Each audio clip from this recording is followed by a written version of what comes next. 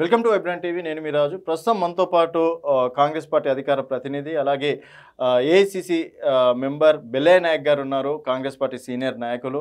So ఇప్పుడు ఉన్నటువంటి అంటే జనరేషన్లో ఎస్టీలు అనేది లంబాడి వాళ్ళు అనేది చాలా ఇంపార్టెంట్ ఎలక్షన్స్ టైంలో ఎన్నికల సమయంలో. అట్లాంటి లంబాడీలకు కూడా న్యాయం జరగాలి మంత్రి పదవి రావాలని చెప్పేసి కూడా ప్రధానంగా డిమాండ్ వినిపిస్తుంది.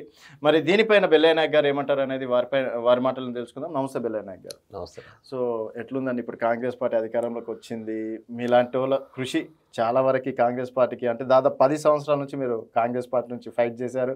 మొత్తానికి అధికారం వచ్చింది. ఏడు నెలలు కూడా అయిపోయింది. కొంతమేరకు విమర్శలు వస్తున్నాయి. సో మొత్తానికి లంబాడి హక్కుల పోరాట సమితి కూడా వ్యవస్థాపకులు కాబట్టి లంబాడి వారికి మంత్రి పదవి రావాలని చెప్పేసి డిమాండ్ చేస్తున్నారు. మరి మీలాంటి నాయకులకి అవకాశం ఏమని ఇవ్వబోతున్నారు అనుకోవచ్చా? అంటే ముందుగా తెలంగాణ ప్రజలు ఒక వాయిస్ డిసిషన్ తీసుకున్నారు.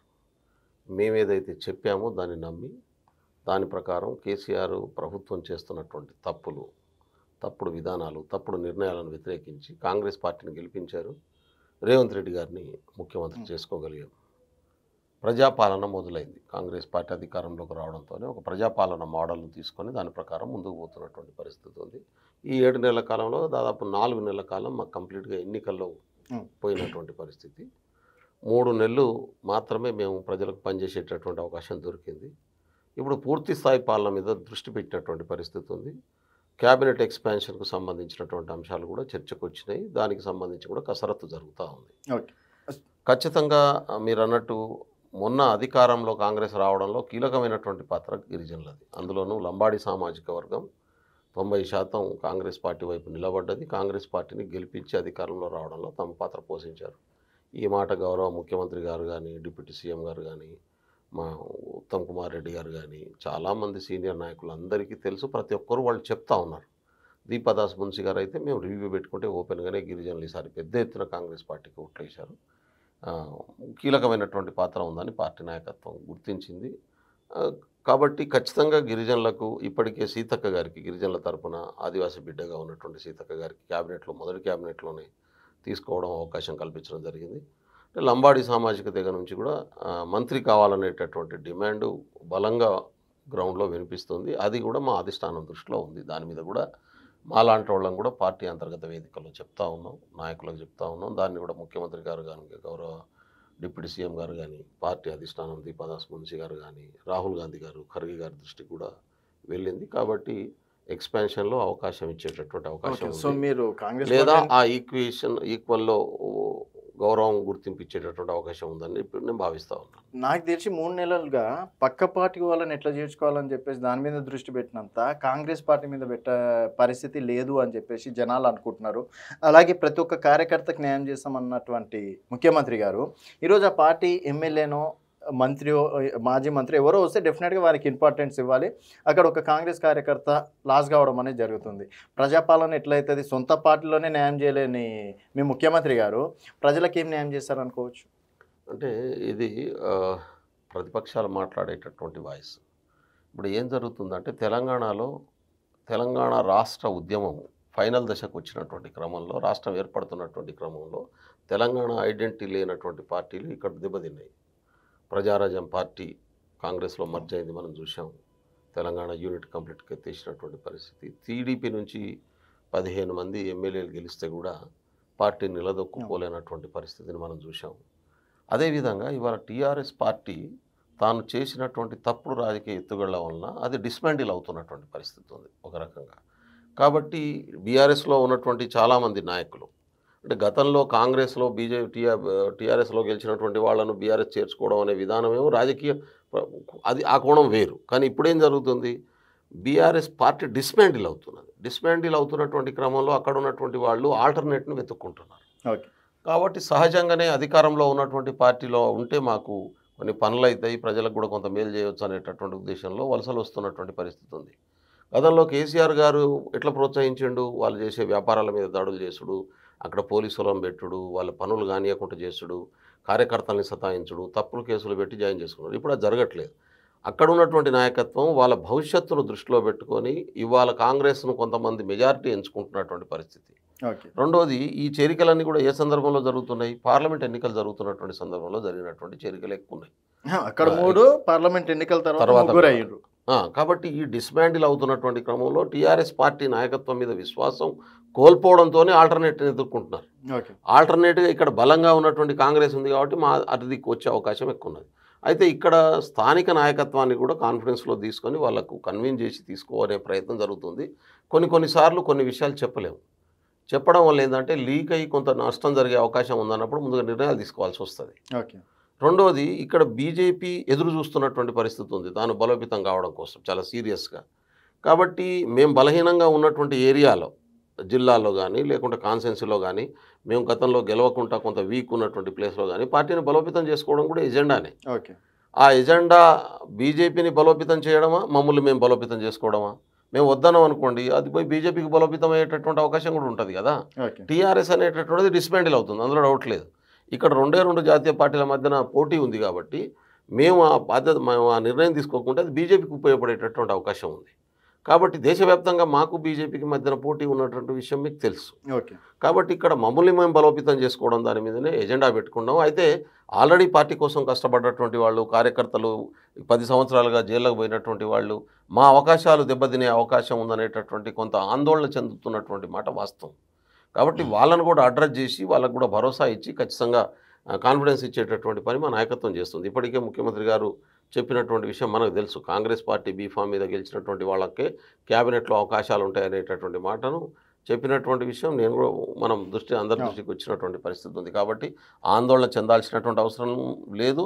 పాత కొత్త వాళ్ళందరినీ కలుపుకొని ఒక బలమైనటువంటి నిర్మాణం కోసం పార్టీ కృషి చేసేటటువంటి అవకాశం ఉంది. ఆ ప్రయత్నం మేము చేస్తాం. మీలాంటి. నాయకులు దాదాపు పది సంవత్సరాల నుంచి ప్రతి ఛానళ్ళలో మీ వాయిస్ వినిపించారు. కాంగ్రెస్ తరఫున ఫైట్ చేశారు. అట్లాంటిది మీకు ఒక స్టార్టింగ్ ఒక లిస్ట్ వచ్చింది. ఏదో కార్పొరేషన్ చైర్మన్.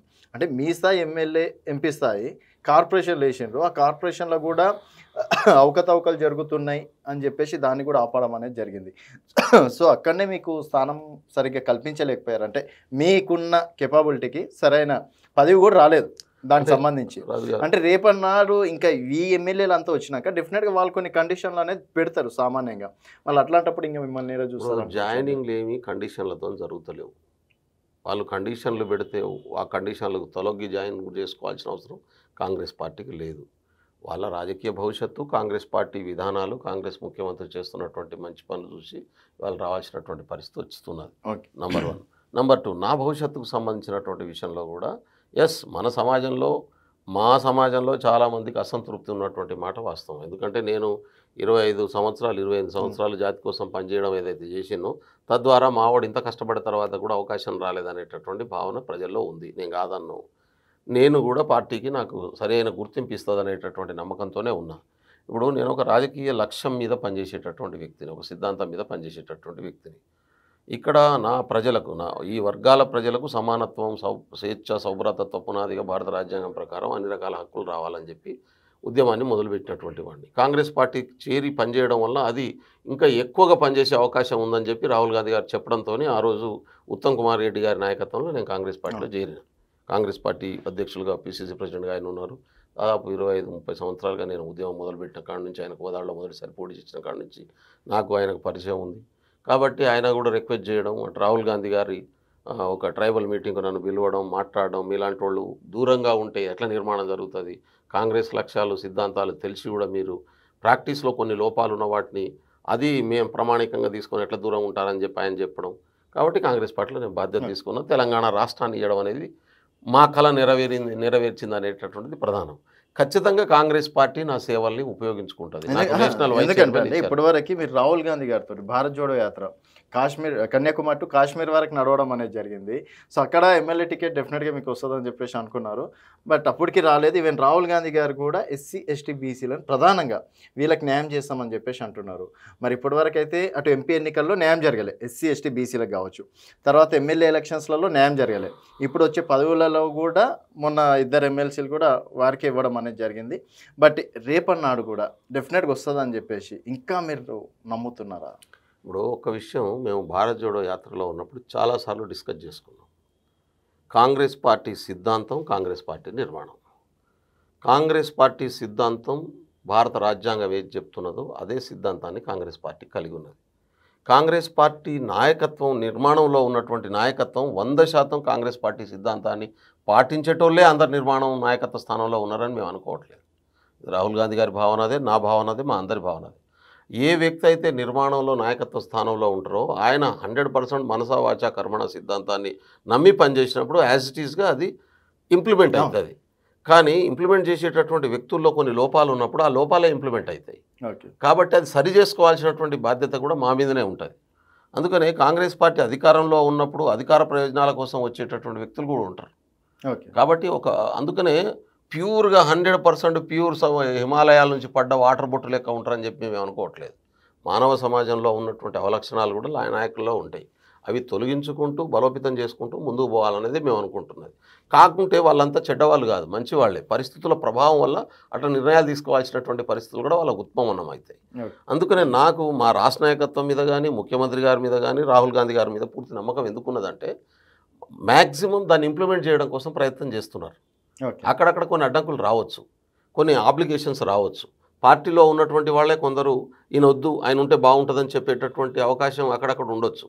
అయినా అందరినీ బ్యాలెన్స్ చేసి కలిపి తీసుకెళ్ళడం అనేటటువంటి అంతిమ లక్ష్యం. ఇప్పుడు వ్యక్తిగతంగా నాకు నేను పార్టీ కోసం పనిచేస్తున్నా. అధికారంలో భాగస్వామిని కాలేదు. నేను ఏమంటున్నా అంటే పార్టీ అధికారం కంటే పెద్దది. ఓకే. ఇప్పుడు ప్రభుత్వ ప్రభుత్వంలో పనిచేయడం ఒక ఎత్తు పార్టీలో పనిచేయడం ఒక ఎత్తు. గత పది సంవత్సరాలుగా పార్టీలో పనిచేస్తున్నాం. ఇప్పుడు పార్టీలో కూడా అన్యాయం జరిగింది కదండి. నేను ప్రధాన కార్యదర్శి లిస్టులలో మీ పేరు లేకపోవడం ప్రధాన కార్యదర్శి ఎప్పుడు ఎక్స్పెక్ట్ చేయలే. నేను. అది కోరుకోలే. రాష్ట్ర ప్రధాన కార్యదర్శి పోస్ట్ ఎందుకంటే నేను national vice chairman. Adivasi Congress national vice chairman అనే పొజిషను ఏఐసిసి సెక్రటరీకి ఈక్వల్ క్యాడర్. ఓకే. ఇప్పుడు నేను ఉన్నటువంటి పొజిషన్ ఏదైతుందో ఏఐసిసి సెక్రటరీ క్యాడర్ నాది. అంతకంటే పైన పొజిషన్లో ఉంటుంది. ఇట్లా అనుకొని మేనేజ్ చేసుకుంటున్నారు? కాంగ్రెస్ పార్టీ మేనిఫెస్టో ప్రకారం ఏఐసిసి సెక్రటరీ కంటే పైన ఉన్న పొజిషన్ చైర్మన్ ఏమో equal to general secretary okay. Any department chairman is equal to general secretary state chairman state general సెక్రటరీకి equal national chairman national general సెక్రటరీకి ఈక్వల్ వైస్ చైర్మన్ అనేది above to secretary ఉంటారు. ఇది. Party నిర్మాణంలో ఉన్నటువంటి వ్యవస్థ. కాబట్టి దాని హోదాలో నేను మొదటి మూడు సంవత్సరాలు పనిచేసిన. రెండోసారి ఆ మొదటి మూడు సంవత్సరాలు కాదు వన్ ఇయర్ వైస్ చైర్మన్ చేయగానే మా నేషనల్ చైర్మన్ రిజైన్. చేసి పార్టీ మారడంతో అడిషనల్ ఛార్జ్ నాకు చైర్మన్కి అవును. ఇచ్చారు టూ ఇయర్స్ నేను చైర్మన్ యాక్టింగ్ చైర్మన్ హోదాలో పనిచేసిన మొత్తం దేశవ్యాప్తంగా ఎస్టీ డిపార్ట్మెంట్ను అంతకుముందు అంత బలంగా లేదు నేను ఎస్టాబ్లిష్ చేసిన తర్వాత మళ్ళీ కొత్త చైర్మన్ నియామకం వచ్చినర్లకు నేనున్నా నేను చైర్మన్గా తీసుకోను. నాకు పార్టీలో వేరే పొజిషన్ ఇవ్వండి. నేను త్రీ ఇయర్స్ చేసిన కాబట్టి ఇంకో డిపార్ట్మెంట్లో పనిచేస్తా. లేకుంటే ఇంకో విభాగంలో పనిచేస్తా. వేరే వాళ్ళని సీనియర్ని తెచ్చిపెట్టండి అని చెప్పి నేను నేను సజెస్ట్ చేసింది అదే. అప్పుడు ఏమన్నారు? ఆ కొత్త చైర్మన్ నియమిస్తున్నావు. అయితే ఆయన స్టేట్ లెవెల్లో చాలా సీనియర్ మంచి వ్యక్తి. కాకుంటే నేషనల్ లెవెల్లో ఇంతకుముందు పనిచేసినటువంటి కొంత అనుభవం లేదు. నీ సేవలో దీన్ని బలోపేతం చేసి ఆయనను బలోపేతం చేసేదాకా నువ్వు ఉండడం అవసరం అనేటటువంటిది.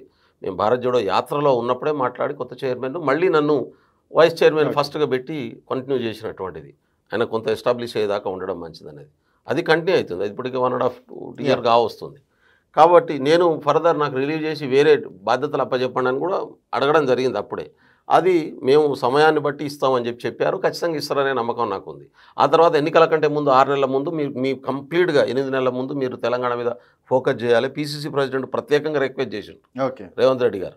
ఆయనను కంప్లీట్గా మాకు ఎలక్షన్ కోసం ఇక్కడ కేటాయించండి అని చెప్పి చెప్పిన తర్వాత ఆయన ఎస్టీ డిపార్ట్మెంట్ చైర్మన్గా ఇక్కడికి అప్పచెప్పండి అన్నారు. కానీ ఆయన నేషనల్ వైస్ చైర్మన్గా ఉన్నారు మేము ఇయ్యం అని చెప్పి కేసీ వేణుగోపాల్ గారే చెప్పి అడిషనల్ ఛార్జ్ ఇచ్చి పంపిస్తున్నా అని చెప్పి నాకు అడిషనల్ ఛార్జ్ ఇచ్చి పంపించారు. నేను పర్ఫెక్ట్గా నా బాధ్యతను నిర్వర్తించిన రాష్ట్ర ప్రభుత్వం అధికారంలో రావడానికి పార్టీ తరఫున పనిచేసిన. చేస్తున్నా చేస్తా కూడా. అయితే ఇక్కడ ముఖ్యమంత్రి గారు రాష్ట్ర ప్రభుత్వంలో నేను ఉండాలనుకొని కార్పొరేషన్ ఒక చైర్మన్ బాధ్యతలు ఇచ్చారు. ఎందుకంటే ప్రభుత్వం తరపున ఇక్కడ బలమైనటువంటి వాయిస్ ఉండాలనే ఉద్దేశంతోనూ ఆయన నాకేం అడగలేదు. నువ్వు కార్పొరేషన్ చైర్మన్ తీసుకుంటావా? ఏది ఇవ్వాలని కానీ ఆయన ఆయన ఇంట్రెస్ట్తో ఇచ్చాడు. నేను ఆయన ఇచ్చిన తర్వాత దాన్ని గౌ అగౌరవపరచను. ఆయన ఇచ్చినటువంటి బాధ్యతలు తీసుకొని పార్టీ కోసం పనిచేస్తా. ప్రభుత్వంలో ఏ స్థాయిలో ఉండాలనేది వాళ్ళు తీసుకోవాలి నిర్ణయం. నేను పోయి ఎమ్మడి పోయి అడిగేది లేదు. ఇప్పుడు మీరు అన్నారు ఎమ్మెల్యే టికెట్ నేను అడిగిన ఇయ్యలేదు. ఎందుకు ఇయ్యలేదు? అనే మాటను కూడా అడిగిన.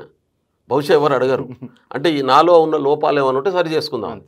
పార్లమెంటు టికెట్ అప్పుడు పార్లమెంట్. కన్సిడర్ చేస్తామని చెప్పి వాళ్ళే మాట్లాడారు. పార్లమెంట్ టికెట్ అప్పుడు ఒత్తిడి చేయలేను నేను అప్లై చేసిన మీ ఇష్టం చాలామంది చెప్పారు మీరు రాహుల్ గాంధీని కలవండి ఇంకోళ్ళని కలవండి నేను కలవదలుచుకోలేదు. When I'm working seriously for party party high command will take a decision okay. ఇప్పుడు మొన్న కూడా పీసీసీ కోసం చర్చ జరుగుతుంది. నీ పేరు ప్రస్తావనకు వచ్చింది హైకమాండ్లో చాలా పెద్దవాళ్ళు చెప్పారు నువ్వు పోయి అడుగు అన్నారు. నేను అడగను అని చెప్పిన. ఇస్తే బాధ్యతలు అప్పచెప్తే పీసీసీ ఇస్తారా వర్కింగ్ ప్రెసిడెంట్ ఇస్తారా ఇంకోటి ఇస్తారా నాకు తెలియదు ఏ బాధ్యత ఇప్పిస్తే అది అప్పచెప్తా లేదు నేషనల్ లెవెల్లో ఇంకో బాధ్యతలు అప్పచెప్పి రేపు హర్యానా ఎన్నికలున్నాయి మహారాష్ట్ర ఎన్నికలున్నాయి జార్ఖండ్ ఎన్నికలున్నాయి అడిగి పంపిస్తే అడిగి పోయి పని చేస్తా. కానీ నాకున్నటువంటి క్యాలిబర్ తెలిసి దాన్ని ఎట్లా ఉపయోగించుకోవాలనేది పార్టీ నిర్ణయం తీసుకోవాలి. సో మీరు నేను I'm clearly for the party okay. So మూడు నెలలుగా మేము ప్రజా పాలన మీద దృష్టి పెట్టినాం నాలుగు నెలలు ఎలక్షన్స్ అని. ఎక్కడ పెట్టారు ప్రజాపాలన పైన? ఒక ఆర్టీసీ బస్సు ఫ్రీ తప్ప ఇంకేం సక్సెస్ఫుల్గా నడుస్తలే. మొన్నటికి మొన్న నిరుద్యోగులు పెద్ద ఎత్తున ఉస్మాన్ యూనివర్సిటీ కావచ్చు గాంధీ ఆసుపత్రి పెద్ద ఎత్తున అట్టడుగునాయి. అట్లాంటి ఇష్యూలు పెట్టుకొని మీరు ప్రశాంతంగా ఎట్లున్నారు? ప్రశాంతంగా చాలా చాలా బాగా జరుగుతుంది. చేరికల పైన మీరు దృష్టి పెట్టారు తప్పించి ఇంకేం లేదండి. రాజు గారు రెండు విషయాలు చాలా క్లియర్. మీరు సెల్ ఫోన్లో వాట్సాప్లో మాట్లాడుతున్నారా? మామూలు కాల్ మాట్లాడుతున్నారా ఇప్పుడు?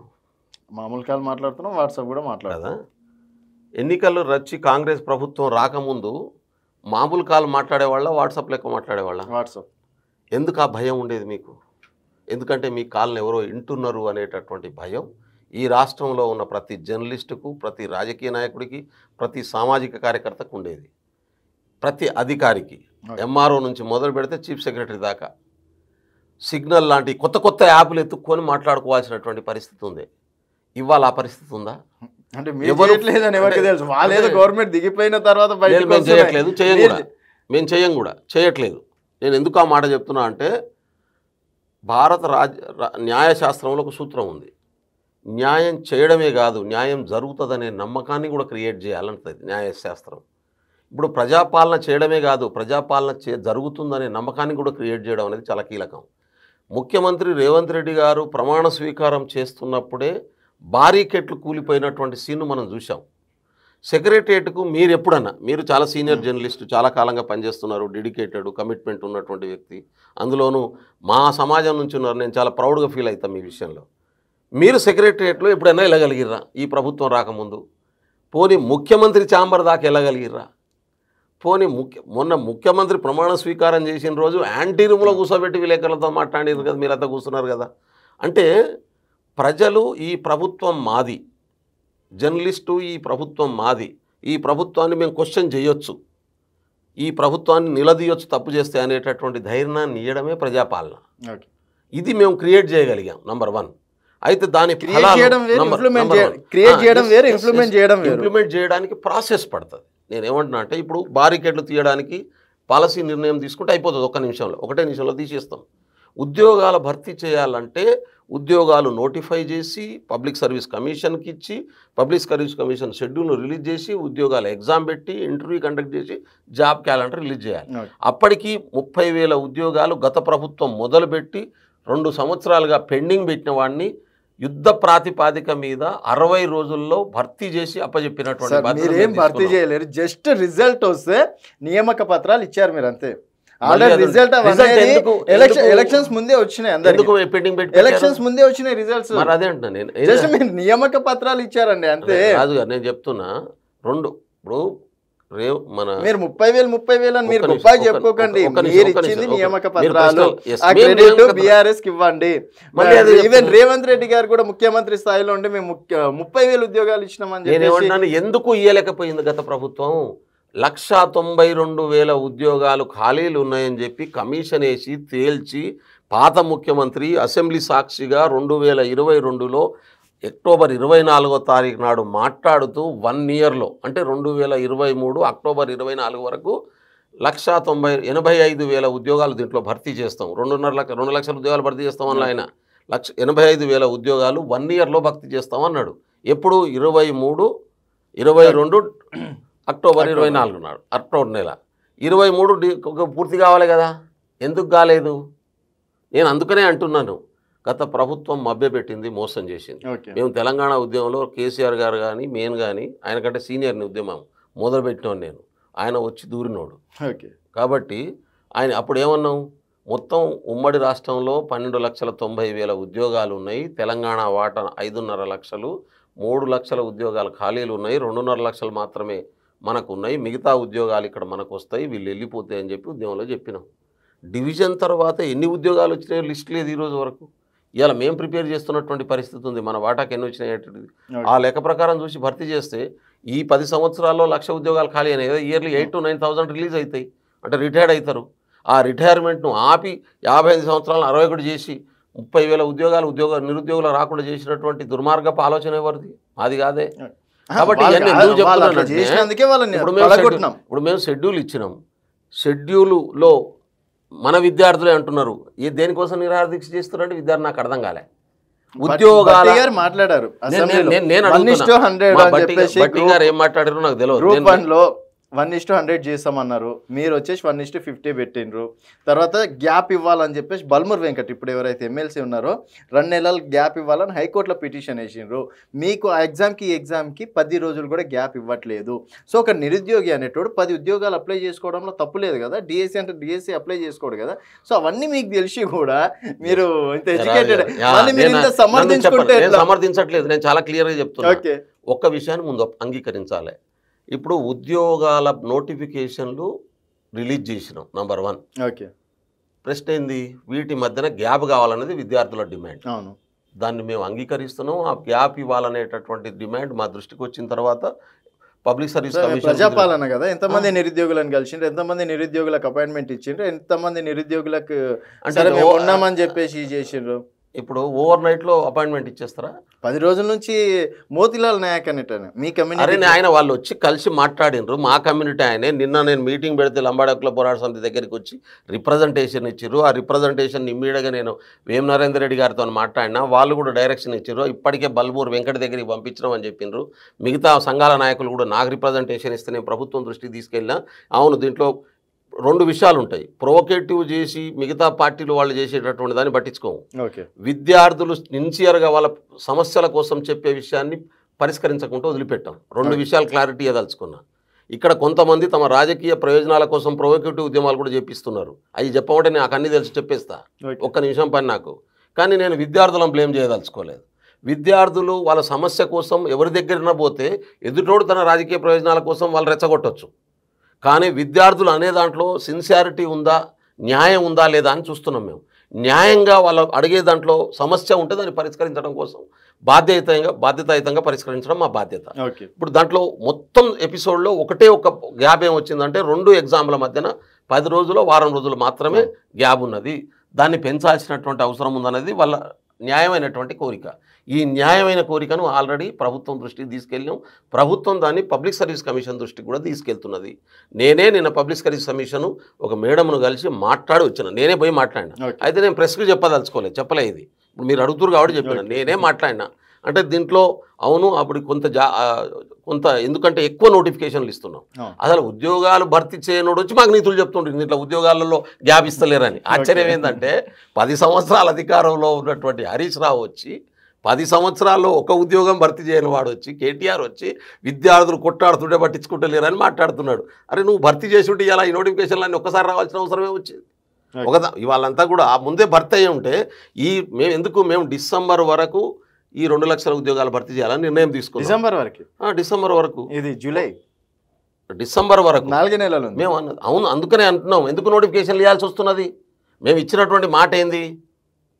మేము వన్ ఇయర్ డిసెంబర్ వరకు మీరు రెండు లక్షల నోటిఫికేషన్లు ఇస్తారా? అన్ని ఉద్యోగాలు భర్తీ చేస్తాం ఇచ్చినటువంటిది. ఒక రెండు నెలలు నోటిఫికేషన్లు ఇస్తారా? ఎందుకు ఇవ్వము టూ రెండు లక్షలు. ఇప్పుడు అదే అంటున్నారు రెండు లక్షలు కాదు ఎన్ని ఖాళీ ఉన్నాయి? లక్ష తొంభై వేలు ఉన్నాయి. ఓకే. ఇప్పుడు ముప్పై వేలు భర్తీ అయినాయి. సంవత్సరంలో రెండు లక్షలు ఇస్తా అన్నారు. అవును ఇస్తామన్నాం. ఎన్నైతే ఖాళీ ఉన్నాయో అయ్యే కాదు. ఇంకా. వేకెన్సీస్ ఏమేమి ఉన్నాయో కూడా ఐడెంటిఫై చేస్తున్నాం. ఏం వదిలిపెట్టే సమస్య లేదు. రికార్డ్ అవుతుందండి అందులో రికార్డే మాట్లాడుతున్నాను. లేకుంటే ఏమైనా పారిపోవడానికి చెప్తున్నా నేను. అయితే ఒకరు అంటే మీలా ఇప్పుడు మీరు పెట్టినట్టు పెడతారు. ఇప్పుడు ఇదే పెడతారు. నాలుగు నెలల్లో ఇన్ని ఉద్యోగాలు ఒకటేసారి ఎట్లా ఎగ్జామ్ రాయాలంటారు. విద్యార్థులు? అటువంటిప్పుడు రెండు మూడు నెలలు ఎక్కువ తీసుకోవాల్సి వస్తుంది. విద్యార్థుల ప్రయోజనాల కోసం కదా? సరే. అందుకనే నోటిఫికేషన్లు ఇచ్చి ప్రభుత్వ రంగంలో ఉన్నటువంటి అన్ని ఉద్యోగాలను భర్తీ చేస్తాం. అందులో ఏం డౌట్ ఉండాల్సినటువంటి అవసరం లేదు. అందులో ఏమి ఉండ అయితే నేనేమంటున్నా అంటే విద్యార్థులకు మీ ద్వారా మీ ఛానల్ ద్వారా కోరుతున్నది ఏంటంటే మీ ప్రయోజనాల కోసమే ఈ ప్రభుత్వం అన్ని ఉద్యోగాలు భర్తీ చేయడం కోసం నోటిఫికేషన్లు ఇస్తున్నది. రాజకీయ పార్టీలు రాజకీయ ప్రయోజనాల కోసం మీ సమస్యను వాడుకుందాం అనేటటువంటి వ్యక్తులు చేసేటటువంటి రాజకీయ వ్యూహంలో మీరు పడకండి. మీకు ఏం సమస్యలు ఉన్నా డైరెక్ట్గా ప్రభుత్వం దగ్గర దృష్టికి తీసుకురండి. ప్రయ పరిష్కరించడం కోసం ప్రభుత్వం ప్రయత్నం చేస్తుంది. లేకుంటే మా దృష్టికి తీసుకురండి. మేము ప్రభుత్వం దృష్టికి తీసుకెళ్తాం. కానీ మీరు ఆందోళన చెంది నిరాహార దీక్షలకు ఇంకో దానికి దిగడం వల్ల ప్రయోజనం లేదు. మిమ్మల్ని మీరు హింసించుకొని మీ కాలాన్ని వ్యర్థం చేసుకోకండి. మీ ఫోకస్ అంతా కూడా ఎగ్జామినేషన్ ప్రిపరేషన్ మీద పెట్టాలని చెప్పి నేను రెండు చేతులు జోడించి కోరుతా యా, ఉన్నాను. అండ్ నెక్స్ట్ రైతుల గురించి మాట్లాడుకుంటే రుణమాఫీ డిసెంబర్ తొమ్మిది సరే అవన్నీ పాత ముచ్చట ఆగస్ట్ ఫిఫ్టీన్త్ వరకు చేస్తామంట అంటే అందరికి ఇస్తారా? మళ్ళీ దాంట్లో ఏమైనా లొసుగులు పెడతారా? చూడండి అవసరమైన వాళ్ళకి అందరికీ ఇస్తాం. రైతుల పేరు మీద రియల్ ఎస్టేట్ వ్యాపారాలు చేసుకునే వాళ్ళకు భూములు కలిగి ఉండి ఐఏఎస్లు ఐపీఎస్లుగా కొనసాగుతున్నటువంటి వాళ్ళకు భూములు ఊర్లలో కలిగి ఉండి హైదరాబాద్లో వేల కోట్ల రూపాయల ఆస్తులు సంపాదించుకుని ట్యాక్సులు కడుతున్నటువంటి వాళ్ళకు ఇయ్యమంటారా? అవసరం లేదు వాళ్ళు ఇయ్యమంటారా? మీరు కూడా చెప్పండి మరి. ఇప్పుడు కేటీఆర్ కేసీఆర్ గారు అందరికీ ఏమంటారు వాళ్ళు చెప్పేది ఇదే. ఓకే. వాళ్ళు గుట్టలకు పుట్టలకు కూడా ఏమంటారు ఇప్పుడు ఆన్ పేపర్ మీద పట్టా భూమి ఉంటుంది వంద ఎకరాలు. అది కల్టివేషన్కి ఉండదు. అది గుట్టు ఉంటుంది. ఓకే. అది పట్టానే. కేసీఆర్ ఆ గుట్టకు కూడా పైసలు ఇచ్చిండు. ఇప్పుడు మమ్మల్ని ఏమంటారా ఆ గుట్ట మీద వ్యవసాయం జరుగుతుందా? మేము మా ఉద్దేశం ఏంటంటే రైతులను ఆదుకోవాలి. ఇది రైతు చేయుత రైతు భరోసా. పట్టా భూమి భరోసా కాదు మాది. రైతు భరోసా. ఎవరైతే వ్యవసాయం చేసి తన కుటుంబాన్ని పోషిస్తూ తన పిల్లల్ని చదివిపిస్తూ తన బిడ్డల్ని ఉన్నత స్థాయికి తీసుకెళ్ళి వాళ్ళ జీవనాన్ని పోషిస్తున్నారో ఆ వ్యవసాయం పంట ద్వారా వస్తున్నటువంటి రాబడి సరిపోవట్లేదనే ఉద్దేశంతో ఆ వ్యవసాయానికి చేయుతనియాలనేది కాంగ్రెస్ పార్టీ లక్ష్యం. బెల్లయ్య నాయక్ ఉన్నాడు నేను వ్యవసాయం చేస్తలేను నాకు కూడా భూమి ఉన్నది. నాకు పైసలు వస్తున్నాయి అది రాంగ్ అంటున్నాం మేము. ఎవరైతే కల్టివేట్ చేస్తారో వాళ్ళకి పోవాలి అది ఎవరైతే నా భూమి దున్నుకొని బతుకుతున్నాడో వానికి పోవాలి అది వాళ్ళకి పోతే వాళ్ళకి చేయిత అవుతుంది అది. లేకుంటే దుర్వినియోగం అవుతుంది. కేసీఆర్ గారు చేసిన దుర్వినియోగం. దాన్ని ఈ దుర్వినియోగాన్ని అరికట్టే పని చేయకముందే అది మొదలు పెట్టకముందే ముప్పై రోజుల్లో అయితలేదు చూడండి. ఏం మాటలే నాకు అర్థం కాదు తల తొక్కలేని మాటలు నేను మీలాంటి బాధ్యతాయుతమైన జర్నలిస్టులను కూడా కోరుతున్నది ఏంటంటే ఒక చిన్న కెమెరాను సెట్ చేయాలంటే గంట చేపడుతుంది. ఒక పాలసీని తీసుకొచ్చి ఇంప్లిమెంట్ చేయాలంటే దాన్ని స్కాన్ చేయాల్సి వస్తుంది. రెండోది ఏం జరిగింది ఈడ? మొత్తం రికార్డులని ఖతం చేసిపోయినరు. మూడు వ్యవస్థలను విధ్వంసం చేసిపోయినరు. బ్యూరోక్రసీని మ్యాక్సిమం కరప్ట్ చేసిపోయినరు. మ్యాక్సిమం కరప్ట్ చేసిపోయినరు. నేను మళ్ళీ చెప్తున్నాను నేను. ఓకే. దాన్ని సెట్ చేసే పని చేస్తుంది ప్రభుత్వం. ఒక ఛానల్లో పెట్టే ప్రభుత్వం చేసింది సగం మంది ఆఫీసర్లు పనిచేయని వాళ్ళు ఉన్నారు. నేను చెప్తున్నా. I'm sorry to say this సగం మంది ఆఫీసర్లు బద్దకస్తులు. మొత్తం కేసీఆర్ కేటీఆర్ వాళ్ళు కూర్చోవాలి. వాళ్ళు రాసి ఇచ్చిందే వీళ్ళు చేయాలనే పద్ధతిలో చేసిర్రు. వాళ్ళు చదివిన చదువును మొక్కలు దించేసిండ్రు. అంత పెద్ద పెద్ద మా మేధావులను కూడా. బ్యూరోక్రసీ తన పని తాను చేసి ఉంటే ఇవాళ ఈ పరిస్థితి ఉండకపోయేది. ఎందుకంటే రాజకీయ ఇన్వాల్వ్మెంట్ బ్యూరోక్రసీలో భయంకరంగా పెంచిపోయినారు. ఇది రెండోది ఎక్కడ పడితే ఎక్కడ నాకైతే డౌట్ ఉంది చార్మినార్ను కూడా అప్పు పెట్టామని అప్పు తెచ్చిరా అని డౌట్ ఉంది వెరిఫై చేస్తే తెలుస్తుంది. చార్మినార్ను మొత్తం ప్రభుత్వ భూములంతా తనఖా పెట్టి డబ్బులు తీసుకొచ్చేసారు ఒక్కొక్క స్కాములు తీస్తూ ఉంటే మామూలుగా వెళ్తలే వాళ్ళవి కాబట్టి ఇంత విధ్వంసం అయినటువంటి వ్యవస్థను గాడిలో పెట్టి డెమోక్రటిక్ కాన్స్టిట్యూషనల్ సిస్టమ్ని ఎస్టాబ్లిష్ చేసే పని జరుగుతూ ఉంది. దాంట్లో ఒక్కొక్క దగ్గరనైతే ఎటువంటి అధికారులు ఉన్నారంటే ఈ రోజుకు కూడా ముఖ్యమంత్రి చెప్పిన ఆయన అధికారులు ఉన్నారు. I'm sorry to say this అంటే ఇంత బ్యూరోక్రసీ నాశనం అయినటువంటి పరిస్థితి ఉంది. ఎన్నిసార్లు ట్రాన్స్ఫర్ చేస్తారు? ఒకసారి చేస్తారు రెండుసార్లు చేస్తారు. పది పది పదిహేను సంవత్సరాల నుంచి ఒక్క దగ్గరనే. తెలంగాణ వచ్చిన కాడ నుంచి ఒక్క దగ్గరనే. ఇక దోపిడీకి అడ్డు అదుపు లేనటువంటి పరిస్థితి. అప్పులకు అదుపు అదుపు లేని పరిస్థితి. ఎక్కడెక్కడి నుంచి ఏం పెట్టి తెచ్చినో తెలియనటువంటి పరిస్థితి. మనం ఐదు లక్షల కోట్లు అంటే ఏడు లక్షల కోట్లు వెళ్ళింది. కార్పొరేషన్ ఒక్కొక్క కార్పొరేషన్ భయంకరంగా ఉన్నాయి. అవన్నీ రేపు కార్పొరేషన్ చైర్మన్లు తీసుకున్నాక తూపితే ఎంత బయటకు వెళ్తుందో తెలియదు. ఓకే. కాబట్టి ఈ వ్యవస్థను ప్రజాపాలనని మేము పెట్టుకున్నాం. పెట్టుకున్నప్పుడు దాన్ని ప్రజాపాలన వైపు తీసుకెళ్ళాలి మేము. ఇది ఓవర్లైన్ మా లక్ష్యం అది. అటువైపు తీసుకెళ్ళే పని జరుగుతుంది. అందుకనే చెప్తా ఉన్నాను ఖచ్చితంగా నాకు పూర్తి నమ్మకం ఉంది. రైతులకు సంబంధించినటువంటి ప్రతి రైతుకు మేము ఇచ్చిన ప్రతి హామీ అమలవుతుంది ఒకరోజు ముందవుతుంది ఒకరోజు వెనకవుతుంది ఓపిక పట్టండి. ఇప్పుడు రెండు లక్షల రుణమాఫీ అని పెట్టుకున్నాం. ఆగస్టు పదిహేనో తారీఖున వరకు ఇచ్చేస్తామని చెప్పినాం. ఖచ్చితంగా ఆగస్టు పదిహేనో తారీఖు వరకు రైతుల రుణమాఫీ జరుగుతుంది. అయితే దానికి క్యాబినెట్ సబ్ కమిటీ వేసింది ఆల్రెడీ. ఆ క్యాబినెట్ సబ్ కమిటీలో ఈ గుట్టలు బోళ్ళు లేకుంటే వ్యవసాయం యోగ్యంగానే భూముల పేరు మీద తీసుకునేటటువంటి పైసల్ని కట్ చేయాలని చెప్పి నేను కూడా రిప్రజెంటేషన్ ఇస్తాను ప్రభుత్వానికి. నేను ఇస్తాను ఎందుకంటే తప్పది. అది దుర్వినియోగం అవుతుంది ప్రజలు కష్టపడి కట్టినటువంటి ట్యాక్స్ ద్వారా వచ్చే ప్రభుత్వ సొమ్మును ఈ ఏసీ రూమ్లో వండుకొని వాళ్ళకు ఇచ్చుడేం తప్ప నాకు అర్థం కాదు రైతులకు ఇవ్వాల్సినటువంటి పైసలు. అది బాధ్యత లేనితనం అవుతుంది ప్రభుత్వం అనేది పాలనకులు అనేటటువంటి వాళ్ళు పాలనకు వచ్చినటువంటి ఏ వ్యక్తి అయినా కానీ custodian of the people's money. Okay. ఈ కస్టోడియన్ లెక్కనే వ్యవహరించాలి తప్ప దానికి రాజుల లెక్క వ్యవహరిస్తే ఎట్లా? అది కుదరదు మా దగ్గర. ఓకే. అండ్ ఇప్పుడు పీసీసీ అధ్యక్షుని రేస్లో బీసీలకి ఇవ్వాలి అని చెప్పేసి ప్రధానంగా నడుస్తుంది. అండ్ ఎస్టీలకు ఇవ్వాలని చెప్పేసి కూడా అంటుంది. మరి ఏమంటారు మీరు ఒక నేనేమంటున్నానంటే పార్టీ సిస్టమ్ తెలిసి ఇప్పుడు మేము అధికారంలో ఉన్నాం ఇక్కడ. ఎలక్షన్స్ పెద్దగా లేవు. కాంగ్రెస్ పార్టీలో సిద్ధాంతపరమైనటువంటి రూట్స్ గ్రౌండ్లోకి వెళ్ళాల్సినటువంటి అవసరం ఉంది. నన్ను అడిగితే నేనేమన్నా అంటే కాంగ్రెస్ ఐడియాలజీ తెలిసి కాంగ్రెస్ ఐడియాలజీని విస్తృతంగా గ్రామ స్థాయి దాకా ఒక ట్రైనింగ్ల ద్వారా తీసుకెళ్ళి పార్టీని అద్భుతంగా నిర్మాణం చేసుకునేటటువంటి నాయకత్వానికి ఇవ్వాల్సినటువంటి అవసరం ఉంది ఇప్పుడు? ఎవరైనా పర్లేదు అది ఎవరైనా పర్లేదు నేను దాంట్లో ప్రధానంగా సామాజిక వర్గాల వారీగా తెలంగాణలో తొంభై రెండు శాతం తొంభై ఒకటి పాయింట్ ఐదు శాతం శ్రీకృష్ణ కమిషన్ రిపోర్ట్ చేసినట్టు చెప్పినట్టు ఎస్సీ ఎస్టీ బీసీ మైనార్టీ వర్గాలు ఉన్నాయి. అధ్యక్షుడు ఇప్పుడు ఒక డెమోక్రటిక్ పర్సన్ రెడ్డి సామాజిక వర్గం నుంచి ఉన్నాడు కాబట్టి బీసీకో ఎస్సీకో ఎస్టీకో ఇవ్వాలి. నన్ను అడిగితే ఎస్టీకే ఇవ్వాలని చెప్తా. నాకే ఇవ్వాలని చెప్తా. తప్పేం లేదు కదా. కోరుకోవడంలో తప్పు లేదు కదా. నాకే ఇవ్వాలని జరుగుతా. మరి నన్ను అడగడం లేదు కాబట్టి నేను దాంట్లో ఇన్వాల్వ్ గాను. ఎవరికి ఇచ్చినా వాళ్ళ నాయకత్వంలో పార్టీ. బ్రహ్మాండంగా. బ్రహ్మాండ నేను నాకు ఇస్తే నేను అంటున్నాను కదా. మళ్ళా ఈ నియో ఈ రాష్ట్రంలో ప్రతి నియోజకవర్గంలో కాంగ్రెస్ ఐడియాలజీ కమ్యూనిస్టులు పుస్తకాలు పట్టుకొని తిరుగుతారు కదా. ఇప్పుడు కాంగ్రెస్ ఐడియాలజీ చాలామందికి తెలియదు కాంగ్రెస్ ఐడియాలజీ అనేది.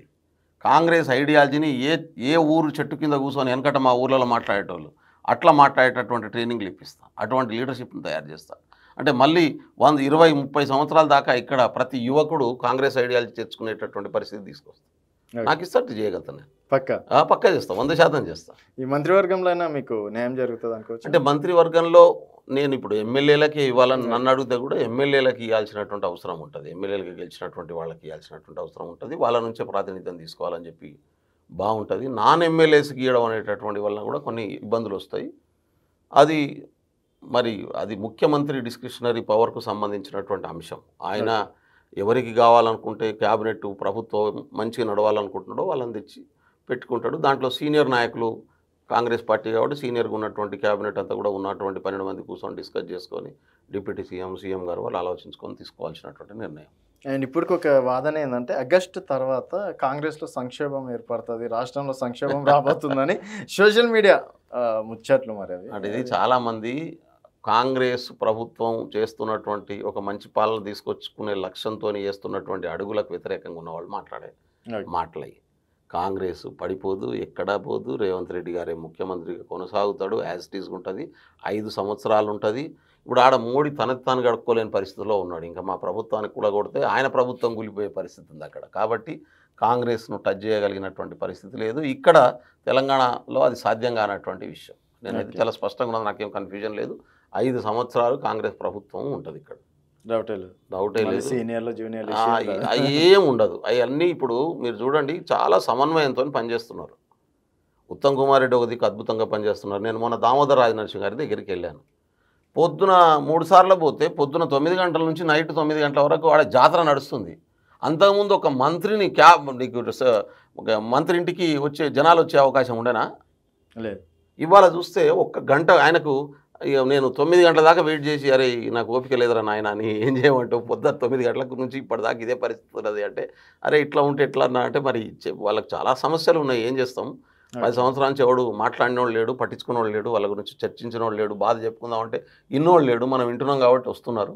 కాబట్టి వాళ్ళకి కనీసం ఉపశమనం కల్పించి మనకు పరిధిలో ఉన్నాయి చేద్దాం మిగతా శాఖల పరిధిలో ఉన్నాయి ఆ మంత్రులకు సెక్రటరీలకు రెఫర్ చేస్తున్నా అని చెప్పుకొచ్చాడు. అంటే వా పొన్నం ప్రభాకర్ దగ్గరికి పోతే అదే పరిస్థితి సీతక్క దగ్గరికి పోతే అదే పరిస్థితి. ఆయన అయితే సెక్రటరీ పోయినా నేను ఒకరోజు ఏడ నిలబడడానికి చోటు లేకుండా ఉన్నది. అంటే ఒక యాంటీ రూమ్లో కూడా నిలబడడానికి చోటు లేకుండా ఉన్నది పరిస్థితి. కాబట్టి ప్రజలు గత పది సంవత్సరాలుగా అంతకుముందు పది సంవత్సరాలేమో తెలంగాణ ఉద్యమం. తెలంగాణ ఉద్యమంలో సమస్యల గురించి పట్టించుకోలే. ప్రభుత్వం పనిచేసినప్పటికీ ప్రభుత్వ యంత్రాంగాన్ని తెలంగాణ ఆంధ్ర ప్రాతిపాదిక మీద విడిపోయినటువంటి పరిస్థితి. ఈ పది సంవత్సరాలు కంప్లీట్గా కేసీఆర్ తను అనుకూలం తను పిలుచుకున్నాడు తప్ప ఎవరు పోయి అప్లికేషన్ ఇచ్చే పరిస్థితి లేదు. పైగా భూముల పంచాయతీలు ఉద్యోగుల పంచాయతీలు ప్రతి దాంట్లో జనం ఉన్న లేని కొత్త సమస్యలు సృష్టించి క్రియేట్ చేసిపోయింది ఆయన. ఆయన చేసినటువంటి గొప్పతనం ఏంటంటే ఆంధ్రలో క్రియేట్ చేసిన సమస్యల కంటే కేసీఆర్ క్రియేట్ చేసిన సమస్యలు ఎక్కువ ఉన్నాయి నీ సొంత భూమి కూడా వందల సం నీకు యాభై సంవత్సరాలు ఉన్న భూమి డిస్ప్యూట్ అయిపోయింది. నీ భూమి నిన్ను డిస్ప్యూట్ చేసిపోయింది నిన్ను. అంటే ఎందుకంటే దానికి కోసం నువ్వు ఆఫీసర్ల చుట్టూ తిరగడం పైసలు ఖర్చు పెట్టుకోవడం అవసరం లేనిది. కాబట్టి ప్రతిదీ సమస్య క్రియేట్ చేసాడు ఉద్- ఇప్పుడు డిగ్రీ విద్యార్థులు తనకు అందుబాటులో ఉన్న డిగ్రీ కాలేజీలో చదువుకునేటోళ్ళు. కానీ ఇప్పుడు ఏంది నీజే వాళ్ళని తీసుకుపోయి హైదరాబాద్లో వేసుడు. ఇక వాడు దానికోసం నాయకుల చుట్టూ తిరుగుడు. అంటే లేని కొత్త సమస్యల్ని క్రియేట్ చేయడం. ఇట్లా క్రియేట్ చేసి ఒక డిస్టర్బ్ చేసిపోయినటువంటి పరిస్థితి ఉంది. ఇవన్నీ సరిచేసే పని చేస్తున్నాం కాబట్టి మా మంత్రులు చాలా అద్భుతంగా పనిచేస్తున్నారు సమన్వయంతో పనిచేస్తున్నారు. రేవంత్ రెడ్డి గారు రెస్ట్ తీసుకున్న సందర్భం చూపించండి నాకు. ఓకే. ఒక్కరోజు రెస్ట్ లేనటువంటి భట్టి గారి దగ్గరికి కూడా పోయినా ఒక నాలుగైదు సార్లు ఎప్పుడు పోయినా జాతరే. అంటే జనం జాతర లెక్క ఉన్నది. నా ప్రగతి భవన్లో మనసు పోకపోయేది. మీరు చూడండి సెక్రటరియట్ పోతే సెక్రటరియట్లో ఆడ నుంచి ఈడు దాకా ఈ యాంటీ రూమ్లో కూడా కూర్చుంటారు ఏం చెప్తాం? పెద్ద నాయకులు లోపట మిగతా వాళ్ళు హా ఆ, డిప్యూటీ సీఎం ఛాంబర్లో బయట అన్ని సోపాలని ఇక్కడ నిలబడడానికి చూడలేదు సామాన్యుడు కూడా చేస్తున్నాడు రావాలి. దట్ ఈస్ కాల్ ప్ర ప్రజాపాలన. నా. కళ్ళతో చూస్తున్నది అది. సో చూద్దాం ఈ ప్రజాపాలన ఎంతవరకు సక్సెస్ అవుతుంది మరి మీలాంటి నాయకులకు ఎంతవరకు ప్రిఫరెన్స్ ఇస్తారు అనేది తర్వాత తెలుస్తుంది. అప్పుడు డెఫినెట్గా మళ్ళీ కలిసి మాట్లాడదాం అండి. థ్యాంక్ యూ అండి. Thank you so. Much so ఇది బెల్లయ్య నాయక్ గారితో స్పెషల్ ఇంటర్వ్యూ మరొక గెస్ట్తో మళ్ళీ కలుద్దాం. చూస్తూనే ఉండండి. వైబ్రెంట్